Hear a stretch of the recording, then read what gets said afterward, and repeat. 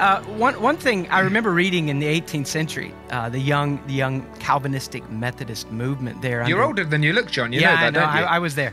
So uh, I remember that uh, Whitefield and Wesley and others on, on both sides. I mean, they republished Puritan works. In fact, Wesley Mm-hmm. put together a thing called the Christian Library, which he highly edited, partly because he felt that books needed to be manageable, uh, manageable size for the modern man, and and and purchasable.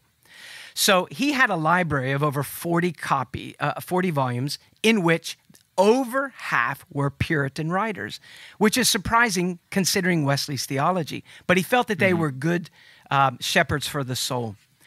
Uh, everywhere he went, he promoted these, and uh, you know, buy buy these books; it'll be good for you. And he also tried to get his friends to promote them. And I remember in one place a man named John Berridge, who was on the Calvinistic side of the movement.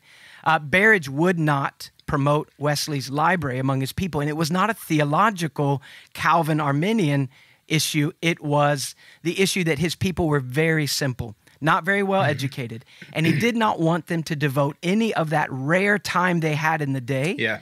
to reading. He did not want them to devote it to to any of the old writers rather than to Scripture. Um, Howell Harris also similar thing, Welshman who had only just learned to read in that century. Um, he he said he found that those who immediately after conversion filled their uh, mind with old writers or or with books tended to not be as simple um, um, a- and, as um, devoted to Christ Himself, but tend to become proud. Um, Yeah. Let me let me ask you: if a person finds themselves uh, in in that quandary that Paul mentions, that uh, you know knowledge puffs up, well, obviously the answer to that is not ignorance. So, Sure. how do you encourage a person as their pastor? How do they increase in knowledge and not increase in pride? That's a great question. I think I think if they are increasing in knowledge in the true sense, that should humble them. So if they're doing it well, it, it should be an antidote to that. Uh, again, yeah, Paul's talking about head knowledge, isn't he? Just the you know this this um, it's probably not the best phrase, but you know, a merely rational appreciation of certain doctrines that never really penetrates to the affections. I think one of the uh, antidotes to that is actually to to be selective. Uh, we really need to make sure that people know what to read. Pastorally, that's not just a question of of then that I answer with, well, read something old. It's read this particular book. And so I might be trying to uh, feed a particular sheep with something that'll do them some particular good.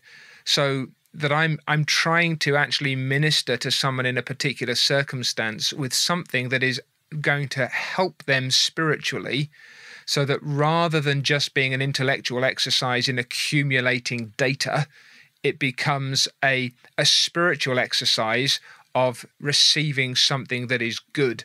And very often it will be directed perhaps to a particular uh, a particular weakness perhaps in in understanding or uh, it may be uh, an area where they're they're starting to grow and you want to just help them in a certain way.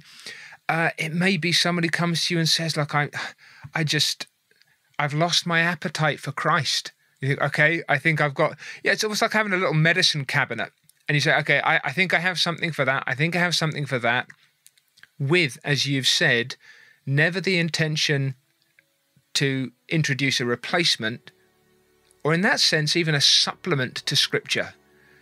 Um, although perhaps the latter more so that this is actually going to help you draw in some distinct scriptural teaching so that we're we're really trying to make sure that we're not just sort of tickling an itch to know stuff uh, or to get a reputation for, for knowledge but this is designed intended uh, prayed over with a view of feeding your soul. And when that happens actually you'll have a less high opinion of yourself than you started with but a far higher opinion of god in christ